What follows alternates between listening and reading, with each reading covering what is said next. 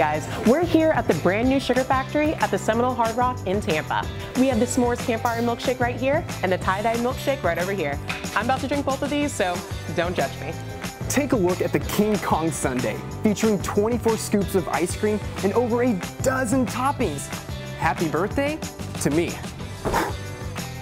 Well, the Sugar Factory isn't just a candy store, it isn't just a restaurant, we're actually a whole experience. You know, they always say you eat with your eyes first, and it's definitely visually appealing as well as taste. It tastes just as good as it looks, I promise you that. We could talk about it all day, but until they actually come out here and experience it for themselves, they won't really know what Sugar Factory is all about.